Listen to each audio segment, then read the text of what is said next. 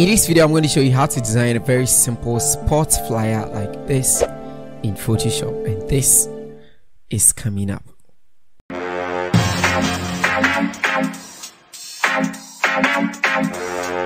Hi everybody, Innocent and welcome to the channel. Over here we make videos like this. If that is something that sounds like you're interested, kindly consider subscribing. Inside the description will be a link to download all the resources that I'll be using so you can download them and practice. And in case you do and you want to send it over you can send it over to instagram and then i'll check it out from there. That said ghana versus portugal. Let's do this in photoshop. All right so i'll be doing this in photoshop 2019 and this should work with almost any version of photoshop that you are using. Let's first create a new document. So we go to file a new or control plus n to create a new document. And then you can choose any size that you want in my case i'm going to choose 4x4 and my resolution is going to remain 300 now you go ahead and click on create. Let's establish our background. You are going to use a gradient to create the background and some brushes. So the first thing you need to do is go to the create new fill adjustment here and then you can choose your gradient over here. Go inside your gradient and then you can pick any gradient or any colors at all that you want to use in this case i made a gradient for you so you can choose or you can use the same colors if you want to do that. This is the first color and the other one is of course like a bit of white. So after you're done with this you are going to change the style to radial and then you are going to reverse it to something like this. Then you go ahead and then you click ok. Now let's go into our resource and start bringing in our images. So to bring it in you go to file place embedded and then you can bring in your first image. So i got two pictures of the stadium the stadium 974 that is where the match is going to take place. So i'm going to bring that in and then you take your time to position it somewhere around here. You double click on it go to the blend mode and then you can set this to overlay. Now after you're done with this right click on it and rasterize it and then you can add a layer mask to it once you add your layer mask you can then go and choose your brush tool. You want to use a very soft brush so you go to the very main one so general and then soft brush. Make sure that your hardness is 0% and then you make sure that your foreground color is black and then you can brush off the edges something like this. Now let's go ahead and select this stadium and then press ctrl l to open the levels and then you can level it up a bit so you can make it a bit darker like that so that the stadium shows a little bit and then you can click on ok. Next off you can bring in the images. So i got the image of the captains from both sides so we are going to open them up. So you open it separately. So the first one is going to be the black stars captain. And then in photoshop 2021 you can easily go to window properties and then you can remove the background with the quick actions over here so when you click on remove background within a matter of seconds it is going to do the job for you. All right so we have this and then you can take that person or you can take your image and bring it into photoshop. Somewhere around here should be fine. Now once he's here you can add a bit of levels and adjustment. Depending on the image that you're using you can level it up a bit adjust it add hue and saturation and all that according to how you want it to be. So you, you take your time and then you can position him over here. Now let's go and bring in the second image. So that is going to be the picture of ronaldo over here. You go through the same process. So you go to window properties and then you can remove the background. Now you take him to your main image over here or your main document that you are working on. And then you can also position him as well. So you can place him somewhere around here take your time to adjust it and then add your levels hue and saturation and everything that you want to add onto this one. So you can brighten it up a little bit with the levels and then you can click ok when you are done. Now once this is done we want to use some of the images or some of these same images as the background. The first one would be the ronaldo image. So you can select or make a duplicate of that. Control j and then we can press ctrl t to transform it slightly like that. And then you can bring it underneath of all the other images. So it has to be somewhere around here. You go to blend mode and then you can set this one to overlay. So it creates that beautiful kind of showlet or opacity around it or at the back of it and then you can place it over here. For that of the Ghana's captain we are not going to use the same image. So we open a different image of the captain of Ghana Black Stars. So this image right over here. Let's take off the background. And then we can bring him over here as well. So he's going to be positioned somewhere around here. You press ctrl t to transform him a little bit like that. So somewhere around here should be fine and then you double click on that and then you go to the blend mode and set this one also to overlay. I think the overlay looks too much here. Let's set this to soft light and let's try soft light on this one as well and see what we have. So soft light and set it to 100% and this should be fine. So once we have this as the background we can then go ahead and add the rest of the things such as the logos and then the text so on top of all of these the first one that we will bring in is the Qatar 2022 logo. So it is right over here and I'll leave links to download all of them in the description. So you bring it in and then you can take your time to position it. Press ctrl a and you make sure that it is centered and then you can push it somewhere around here and this should be fine.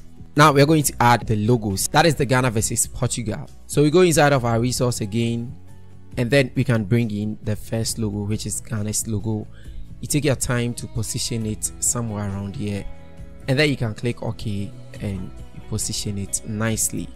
Now underneath of this one we are going to create a rectangle. So we make a rectangle like this a very small one. It doesn't have to be that very big. And then we are going to let it remain the color white.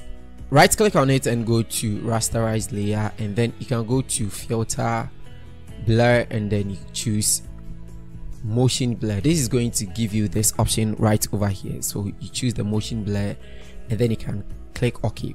Now if this is too long for you you can still reduce it by pressing ctrl t to transform it and then you reduce it to this side because we are going to flip the same thing to this side. So we can select the two by holding control. That is the rectangle and the logo. And then we can press ctrl g to group that press ctrl j to make a duplicate and then we can press ctrl t right click and flip it horizontally. This is going to create this for us so it can be facing each other like this. And what we are going to do is we are going to just get rid of the Ghana's logo from here and then we are going to bring in Portugal's logo.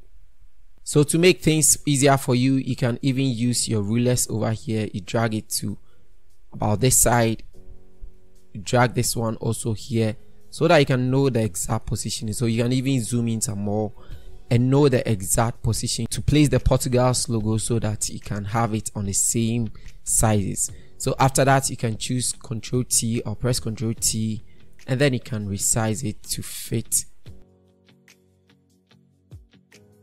And once you have it like this you can then select the two groups and regroup it to make it all one again. And now you can press ctrl a and make sure that it is centered. Now if this is too big you press ctrl t to transform it some more and then you can center it and position it slightly above like this. Now it's time to add the text so for the text so we're going to choose a font called Cinzel I'll leave links in the description as well. So you choose that one and then we are going to type over here Ghana select all of it and make sure that your font is black. Click ok and then you take your time to position it over here. So Ghana and then we make a duplicate to the right side. And then we can edit that to Portugal. Just make sure that it doesn't go so close to the logo. And then we make one more duplicate bring it in the middle and then we can type the verses. So Ghana versus Portugal press Ctrl T to transform the verses a little bit because it has some quite some space in there. So you can take your time to just position it over there. Now we're going to add the date. So let's make one more rectangle over here like so. And then we can keep it white color. Right click and rasterize it just like we did for the rectangles above and then go to filter blur and then motion blur and then we can blur it a bit like that as well. And then we can add a date to it. So it's going to be 24th November.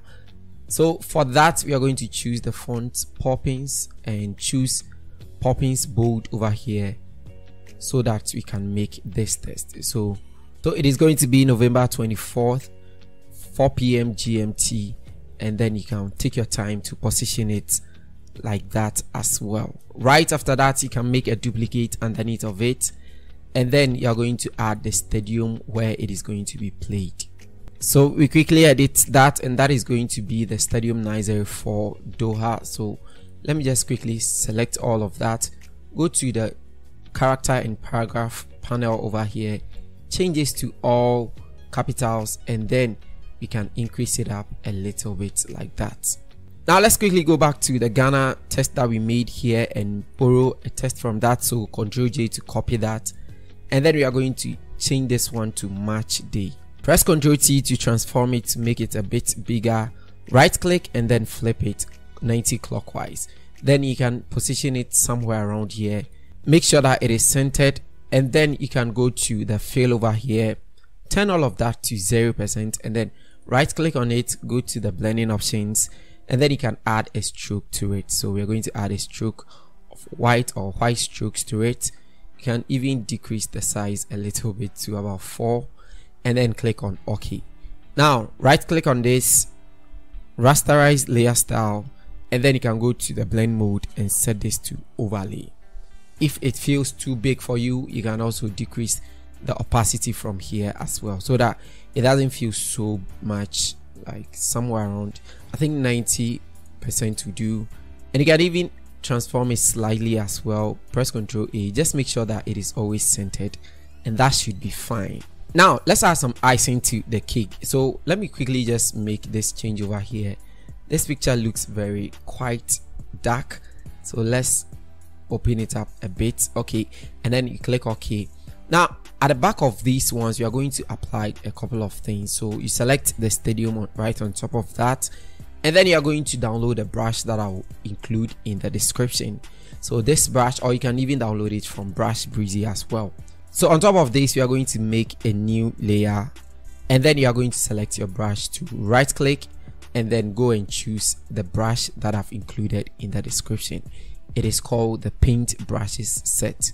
So we are going to use the number two over here.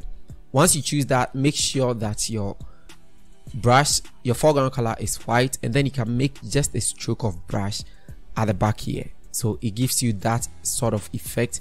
You can even make some more if it depends on how you want it. But then i think a couple of two or three should be fine so that it gives you that kind of brush strokes at the background which makes it cool. And then on top of that we are going to add our particles. So you go to file place embedded and then we are going to import in the particles over here.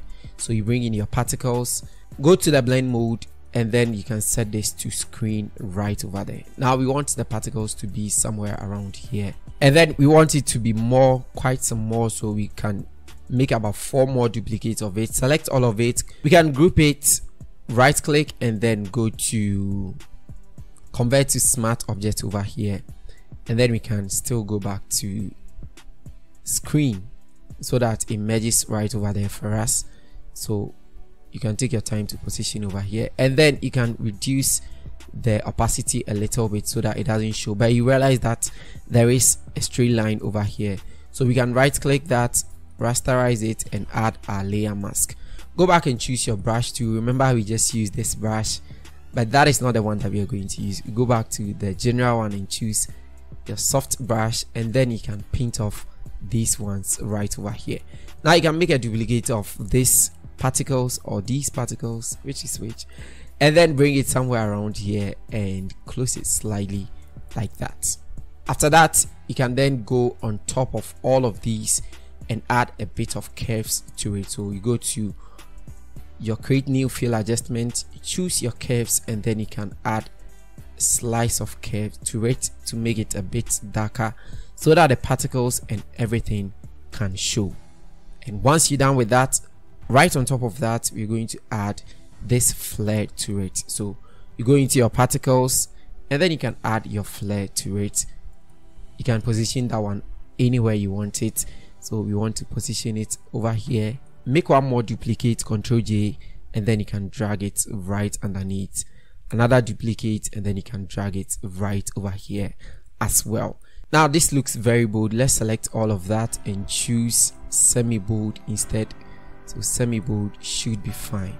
And just like that you create a very simple yet nice football flyer in photoshop.